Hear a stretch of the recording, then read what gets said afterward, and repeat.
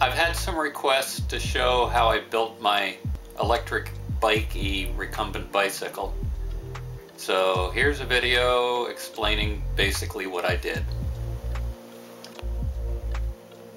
The motor is from a Currie E-Zip mountain bike and it's 450 watts but only runs on 24 volts.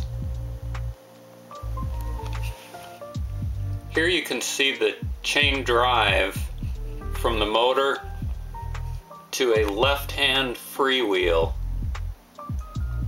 and that is the stock hub from the Currie E-Zip but laced to the 20 inch rim of the BikeE. You'll need to get the smallest left-hand freewheel you can get because if you use the stock freewheel off the mountain bike, the 26 inch mountain bike, you'll only go about 10 miles an hour. As it is, this will only propel you about 16 miles an hour. The two 12 volt batteries sit on a 3D printed frame which is attached to the rear frame of the BikeE.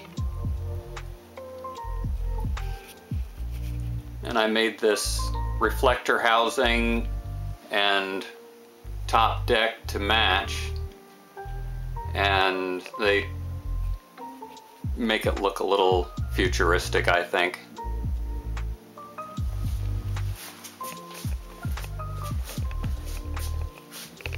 If you look in through here, you might be able to see the, the 3D printed strap that holds the batteries in place. The right side shifter from the BikeE was moved over to the left side, so you're you still have your seven speeds. And this is the stock Currie mountain bicycle throttle.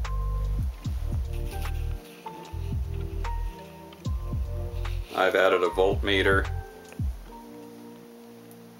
and a speedometer and of course some mirrors. Can't get by without the mirrors. I've removed the chain guard from the, the chain ring so I could add a a larger chain ring to it. I believe that was a 58 tooth. That way I don't have to pedal so hard to put a little bit of effort in it. I don't have to pedal so fast. So that's a quick description of how to build an e-bike out of a BikeE recumbent. I hope this helps. If I were to do it all over again, I would probably just get a hub motor for the rear wheel. I think that would be a whole lot easier. But this is nice because when you're not using the motor and just pedaling, there's no drag at all from the motor because of the freewheel. So thanks for watching. Bye now.